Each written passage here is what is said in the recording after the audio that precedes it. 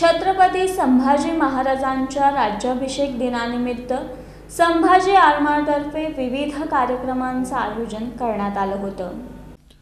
सालाबादाप्रमाणे याही वर्षी छत्रपती संभाजी महाराजांच्या राज्याभिषेक दिनानिमित्त शंभूमूर्ती संस्थापक अध्यक्ष श्रीकांत डांगे यांच्या हस्ते पुष्पहार अर्पण करून अभिवादन करण्यात आलं. यावेळी बोलताना श्रीकांत डांगे यांनी छत्रपती शिवाजी महाराजांच्या मृत्यूनंतर म्हणजेच सोळाशे एक्क्याऐंशीला छत्रपती संभाजी महाराजांचा राज्याभिषेक रायगडावर झाला आणि त्यामुळं खऱ्या अर्थानं हिंदवीचं रक्षण झालं आणि मावळ्यांनी एकोणतीस वर्ष औरंगजेबाशी लढा दिला असं ते म्हणाले.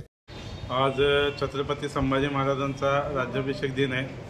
सोळा जानेवारी सोळाशे एकोण एक सोळाशे एक्क्याऐंशी या दिवशी किल्ले रायगड येथे छत्रपती संभाजी महाराजांचा राज्याभिषेक संपन्न झाला होता.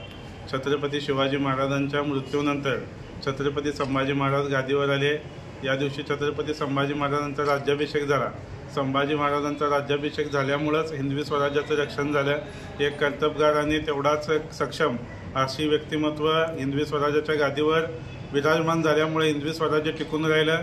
आणि पुढं एकोणतीस वर्ष औरंगजेबाशी हिंदवी स्वराज्याच्या मावळ्यांनी झुंज दिली. यावेळी छत्रपती संभाजी महाराज नागरी सहकारी पतसंस्थाचे संचालक सतीश भोसले संभाजी आरमारचे कार्याध्यक्ष शिवाजी वाघमोडे प्रदेश संघटक प्रकाश डांगे सरचिटणीस गजानन जमदाडे जिल्हा प्रमुख अनंतराव नीळ जिल्हा संघटक अमित कदम वाहतूक संघटनेचे अध्यक्ष राजेश पाटील यांच्यासह पदाधिकारी कार्यकर्ते मोठ्या संख्येनं उपस्थित होते.